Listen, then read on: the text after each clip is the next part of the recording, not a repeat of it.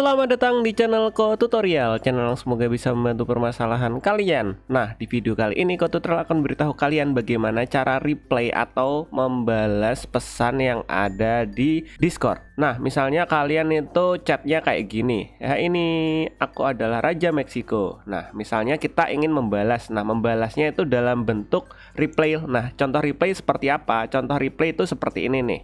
Nah, di sini Ko Tutorial itu mereplay chatnya dari Cimori. Hey, kamu mending replay aja. Nah, seperti ini. Nah, di sini Ko Tutorial udah mereplay. Langsung aja yuk ke cara pertama. Cara yang pertama, kalian login ke Discordnya, kalian masuk Discordnya. Setelah itu kalian ke bagian chat obrolan. Nah, kalian pilih chat obrolan mana yang ingin kalian balas. Misalnya, kalian ingin balas yang punyanya Kevin Raja Meksiko ini. Nah, caranya untuk mereplay, kalian klik kanan, kalian klik kanan, kalian pilih replay, guys. Nah, ini ada tulisannya replay. Kemudian kalian ketik, kalian ingin jawab pesannya ini tuh kalian balas gimana. Misalnya, aku Raja Panda. Hahaha. Misalnya seperti ini. Kemudian kalian enter dan tada, ini sudah mereplay chat dari si Kevin guys. Si Raja Meksiko ini guys. Nah kayak gitu guys.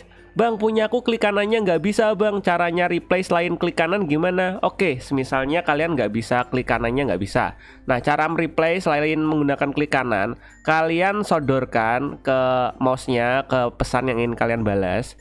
Misalnya kalian ingin balas si Reza ini. Kalian sodorkan. Kemudian kalian ke arahin ke kanan guys Nah di sini ada tanda panah ke kiri. Ini kalian pilih klik. Itu sama aja seperti klik kanan guys. Kalau klik kanan kan pakai klik kanan replay. Kalau ini nggak perlu klik kanan kalian pilih replay yang ini sebelah kanan ini. Kemudian kalian balas deh chatnya dari si Raza. Hai juga. Nah kayak gini guys. Hai juga Nah kayak gitu guys Cara replay atau cara membalas chat dari seseorang guys Nah mungkin sampai segini aja videonya ke tutorial Jika kalian ingin request atau mungkin ingin tanya-tanya tentang tutorial lainnya, kalian bisa komentar di bagian bawah video ini. See you di next video. Bye-bye.